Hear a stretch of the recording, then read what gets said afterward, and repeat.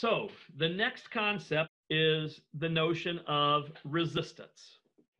So look again at Professor Gallaher's email data. Suppose the largest data value, 82, is replaced with the value 150. Recompute the sample mean and the median for the new data set. How does this change affect the mean, and how does this change affect the median? So I have the data written up here in order, right? So we're going to change this 82 to instead be 150. So my new data set in order is going to be 54, 66, 69, 73, 75, 79, and 150. So again, I'm using 150 instead of 82. Now back on the previous page, we calculated our mean and we found our mean to be 71.1, but that was using 82 instead of 150. So if I change this and recalculate my mean now, if I add up the 54 plus the 66 plus the 69 plus the 73 plus the 75 plus the 79 plus the 150, and if we divide that by 7, because it was a sample of seven.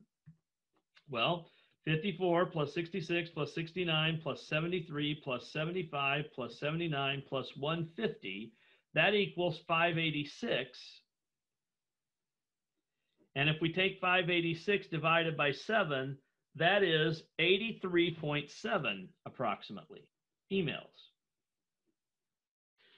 So how does this change affect the mean? Well, our mean when we calculated before was 71.1. If that one data value, 82, is changed to a, a much larger data value, 150, what happened to our mean? Our mean increased from 71.1 to 83.7. So how does this change the mean? It went up by more than 10.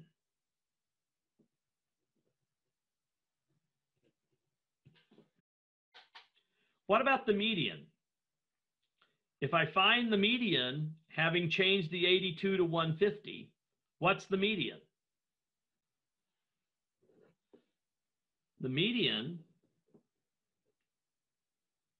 is still 73. The median was not affected at all.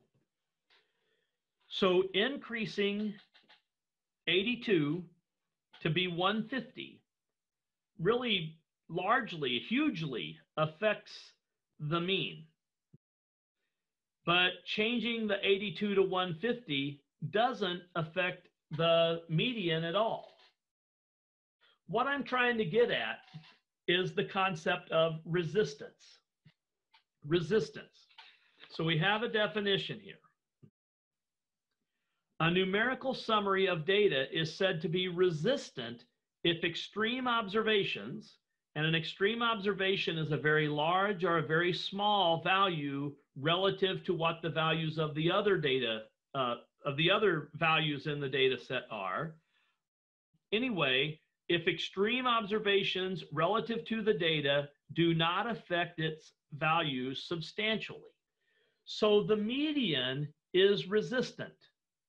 The median, when I had this extreme value of 150 instead of 82, the median was not affected at all by that. The median was resistant to being affected by that extreme value. But the mean is not resistant to extreme values.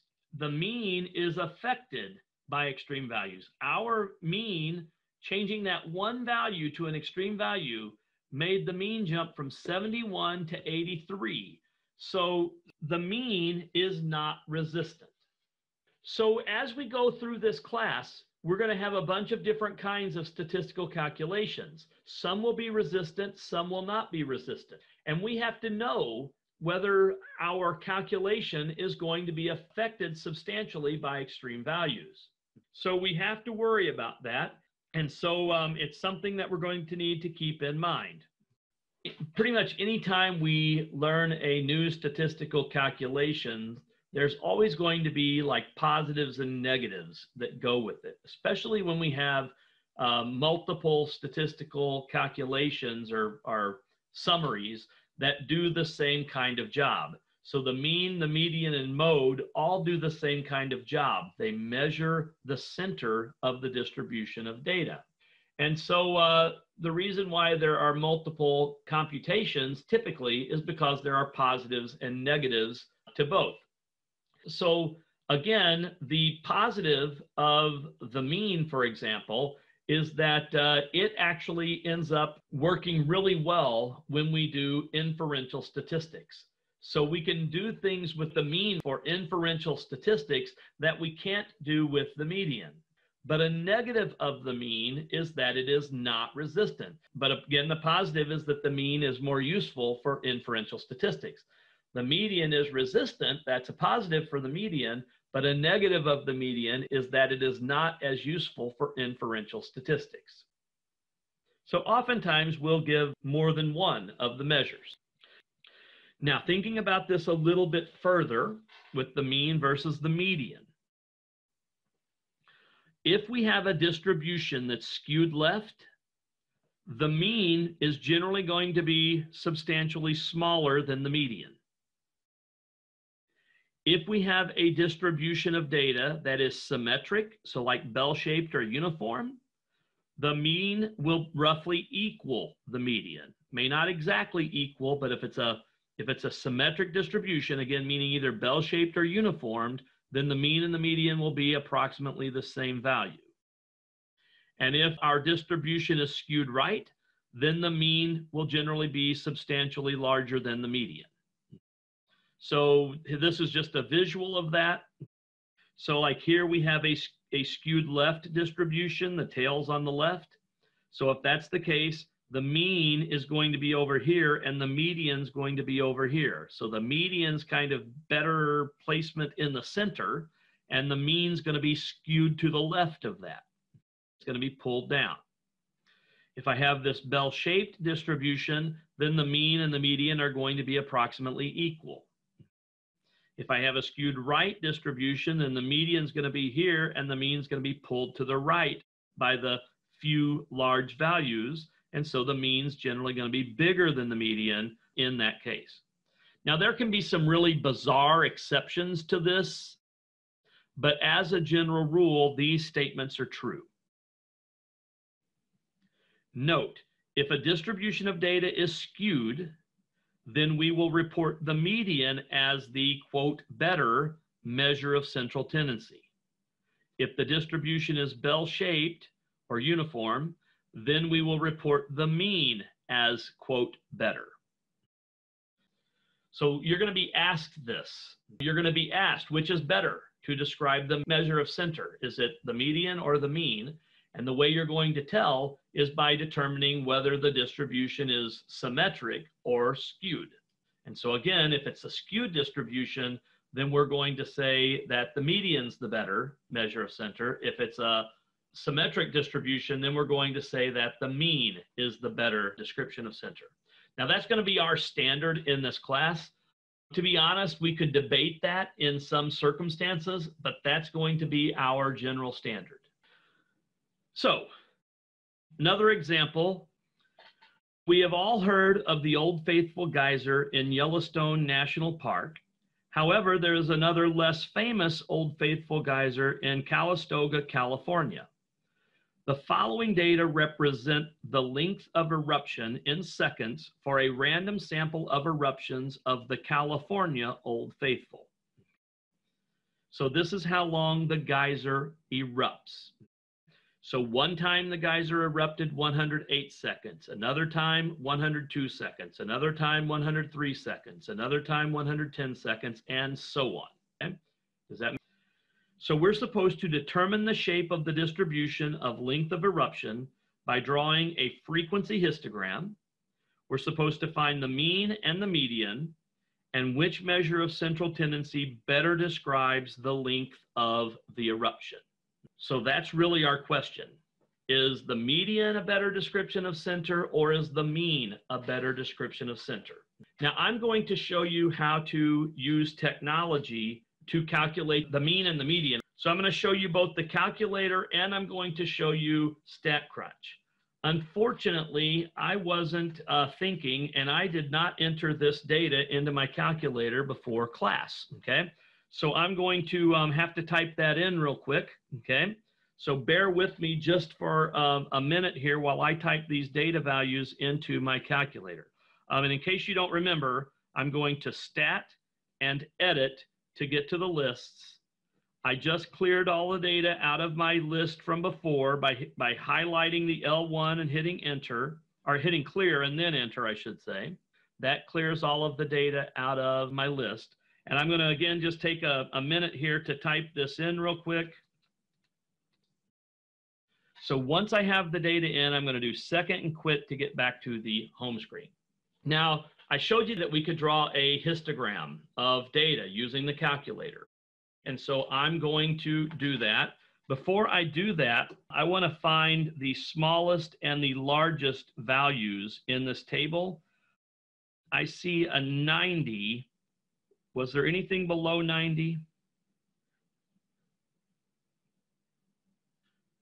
I think 90, we have two of them. I think 90 is the smallest value.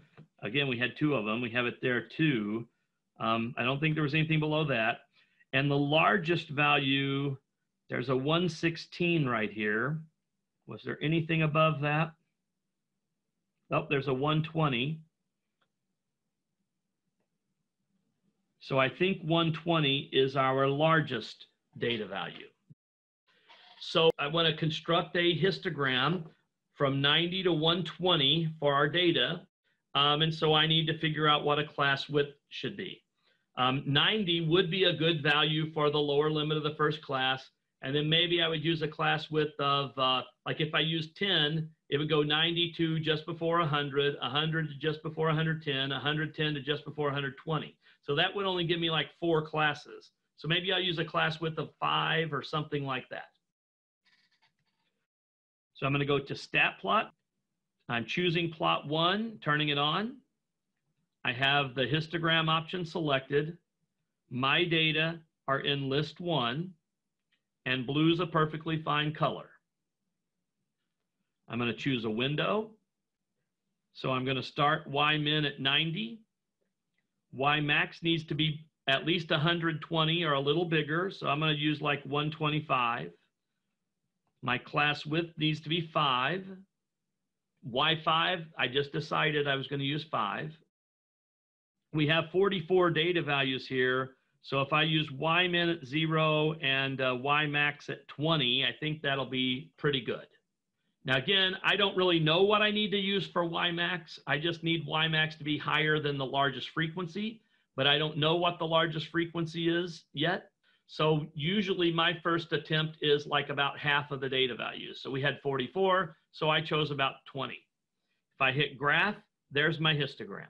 Again, if I trace, just to point this out, that last bar right there is really going from 120 to just before 125 and the 120 is in that class.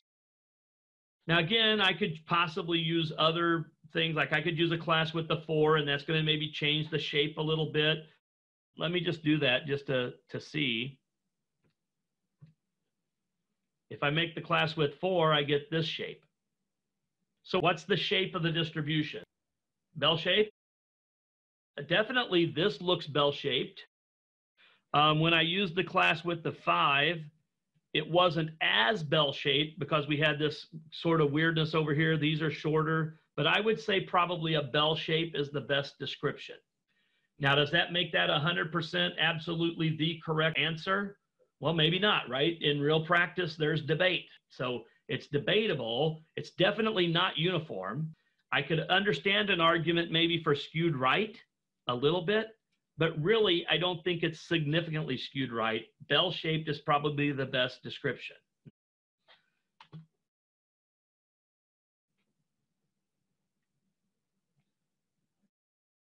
When you're working on the homework, you're going to have some scenarios where it's debatable. If you get an answer marked wrong, you know, maybe you say it's bell shaped and the problem saying it's skewed right or something like that, but it's a little debatable send me an email and I will look at your answer. You know, explain to me in your email why you thought it was, say, skewed right, but it was counted wrong. And if I agree with you that it's debatable and it could maybe go the other way, I'll give you credit for it. So don't be frustrated by, you know, if you said this was skewed right and I said it was bell shaped, well, there is a little bit of room for debate. Now, there are wrong answers. Let's be clear. If you said skewed left on that, skewed left's wrong. If you say uniform, uniform's wrong but there could be some debate occasionally. So now I want to find the mean and I want to find the median. Well, I already have the data entered into my calculator and I have it entered into list one. So on your calculator to calculate the mean and the median, there's more than one way of doing it, but here's the simplest. Go to the stat button, same place you go to enter the data, except instead of choosing edit, go over to calc. So what we're going to do is this first option, one variable statistics. Now what that means is, first of all, we have one variable. We have this eruption variable. So that's why we're using one variable statistics. And the calculator is going to do a whole bunch of different calculations at once and display them for us, and we can pick out what we need. So I'm choosing one variable statistics. Now, when I choose that, I get this window because I've got a newer calculator. If you have an older calculator, you will not get this window. If you have an older calculator, you're going to get the one var stats. It's going to say that on your home screen. Now, what I do is I have to tell the calculator which list has my data. Well, my data is in list one. So I tell the calculator that's where the list is, and I choose calculate. And I'm going to do that in just a second. If you have an older calculator where this comes up on your screen, you also need to tell the calculator where your data are located. So if you put your data in list one, you would put L1 behind that, and then you would press enter. So one var stats, tell it where your data is, which list, and then press enter. When I choose calculate, it's going to calculate that for me. So look at what I get here. Okay, I get all kinds of stuff that the calculator does for me. The first thing that it tells me is X bar. X bar is 104.1363636 and so on, so on, so on. If I round that to the nearest tenth, then I would get 104.1. So that is my X bar 104.1, and that is seconds. So based on this data, on average, the California Old Faithful erupts for 104.1 seconds. Now, it also gives me lots of other stuff that we'll discuss as we go through this class. The second line there has sigma x, so what that is, that's what you get when you add up all of the data values in list one. These other things we'll talk about later. N equals 44. That's the number of data values we had. So the 4582 divided by 44 is where the 104.1363636 comes from. It also tells me the minimum value, that's the smallest data value, was 90 these other things we'll talk about later. By the way, that arrow right there means there's more stuff down the screen that's not displaying. So if I hit the down arrow, I can see the other things. And in, included in that is the median. The median equals 104.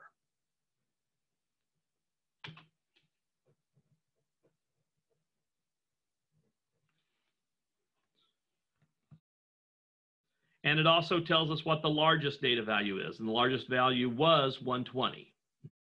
So it gives us a lot of stuff that we haven't talked about yet that we'll talk about later. I guarantee you, you are going to want to use technology to do the calculations. 44 data values isn't that many values. But if I tried to find the median, I'm going to have to put all of those in order to do that. And that's time consuming, and there's a good chance I'm going to goof up. So technology is going to help. If you use your calculator again, double check because if you have any typos in the data, that's going to mess up your calculation. So since we have a bell-shaped distribution, we've got the mean, we got the median. Notice that the mean and the median are approximately equal, which is again an indication of a bell-shaped or a symmetric distribution. Which measure of central tendency better describes the eruption? In this case, we would say the mean is better. And the mean is better because we have a bell-shaped distribution.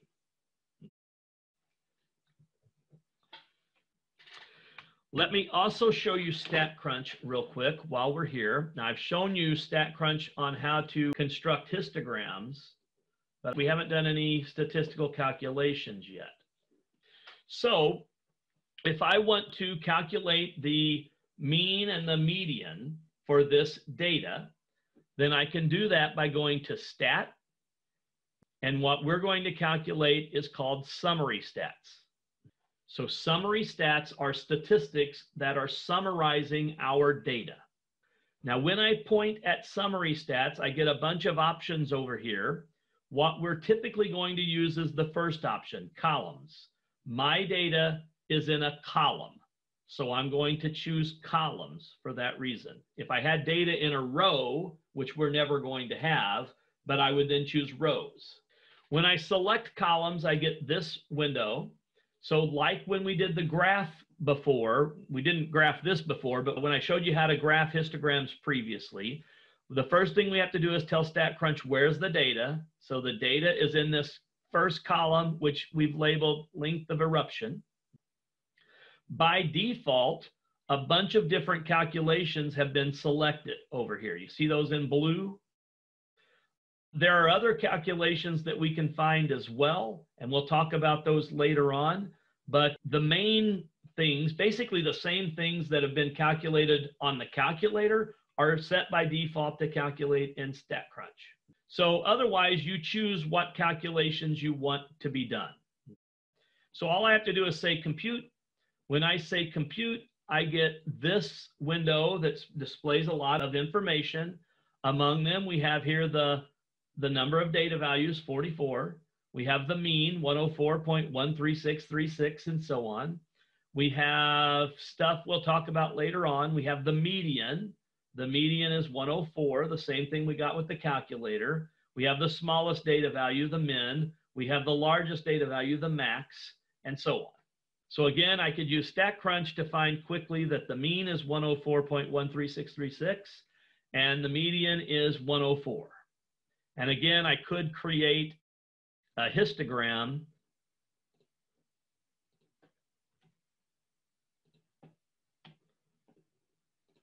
I could create a histogram to verify, yeah, that's essentially a bell shaped distribution. And so the mean is the better description. So on the next page, I did provide some instructions on how you can use the calculator and StatCrunch. Again, I just took these from the book, but these are instructions on how you can use the calculator and StatCrunch to find the mean and the median, among other things. The mode the mode of a variable is the most frequent observation of the variable that occurs in the data set. A set of data can have no mode, it can have one mode, or it can have more than one mode. So um, it, if all of the data values occur only once, then you don't have a mode. That's a negative of the mode. If you have two data values that occur the same number of times, and that's more than any of the other data values, then you could have two modes. You could have three modes, you could have four modes. Usually, if you have a large set of data, you'll probably just have one mode, but it all just depends. So, again, three measures of center, mean, median, mode. There's positives and negatives to all three. So, usually we'll use the mean because that's statistically, when we do inference, that's the most useful one. But it's not resistant, that's the negative. The median's resistant, but it's not as useful in inferential statistics. The mode, relatively easy to find, but it's not as useful statistically. And we may end up with situations where we have more than one mode or no mode. So again, positives and negatives to all three. Example, the data below represent the final exam scores of 12 students from statistics last semester. Find the mode. So I have 12 data values, so I need to find the mode. So all I'm doing is finding which one occurs more than the others. So if we take a look, I've got 62, that only occurs once. 94 only occurs once. 81 occurs twice. 78 occurs one, two, three times. So, so far 78's got it. 83's only occurring once. 78, we already said three times. 65, only once. 81 occurred twice, 93 is occurring only once, 89, there's 78 again, 82 is only occurring once. So our mode is 78 because that is occurring three times. It's occurring more than any of the other times. One way you might go about finding the mode, um, you could sort the data and put it in order, and that would help you identify when you have more than one, for example. You might also make a table and do tally marks or something like that to figure out what occurs most frequently. If no observations occur more than once, then the data have no mode. For example, Professor Gallaher's email data has no mode. So if I go back and look at the email data from the previous pages, there, those data values each occurred one time, so there wasn't a mode. Again, that's a negative. If a data set has two modes, we say that the data are bimodal. If a data set has three or more data values that occur with the highest frequency, we say the data set is multimodal. So if it's two, we usually call it bimodal. If there's three or more modes, we just say multimodal. The mode is usually not reported for multimodal data because it's not representative of a typical value. The whole point of finding a measure of central tendency is we're kind of finding what's happening on average, what's typically happening. So the mean and the median give us that description. The mode does too, unless it is multimodal scenario. Figure A shows a distribution with one mode. Figure B shows a distribution that's bimodal. So if you have one mode, that mode's typically going to occur in the center.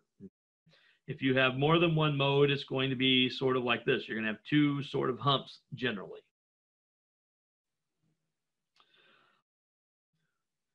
One advantage of the mode is that you can find the mode even when you have qualitative data.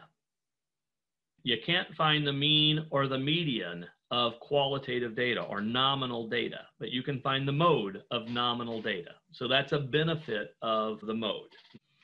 So we cannot find the mean or median of nominal data, but we can find the mode. A sample of 100 registered voters in the city of Naperville were asked their political affiliation, Democrat, Republican, or Independent. The results are shown to the right. Find the mode political affiliation. So if I want to define the mode, I just have to figure out what's more frequent, Democrat, Republican, or Independent for Naperville. So the mode for this nominal data, this qualitative data, I'm going to have to just count. How many Democrats are there? How many Republicans are there? How many independents are there? So I'm going to just run through real quick. So there's one Democrat, two, three, four, five, six, seven, eight, nine, ten, eleven, twelve, thirteen, fourteen, fifteen. 16, 17, 18, 19, 20, 21, 22, 23, 24, 25, 26, 27, 28, 29, 30, 31, 32, 33, 34, 35, 36, 37, 38, 39, 40, 41, 42, 43, 44, 45, 46. So I got 46 Democrats out of the 100. I'm guessing that's probably going to be the mode. Republicans, we have one, two, three, four,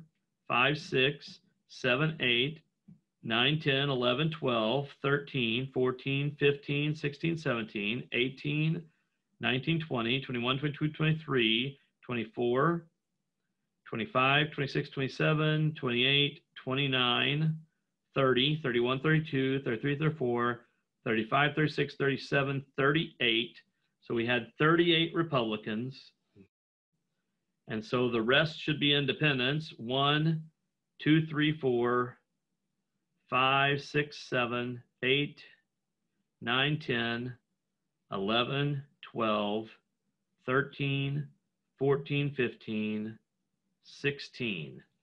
So we had 16 independents. So the mode is Democrat.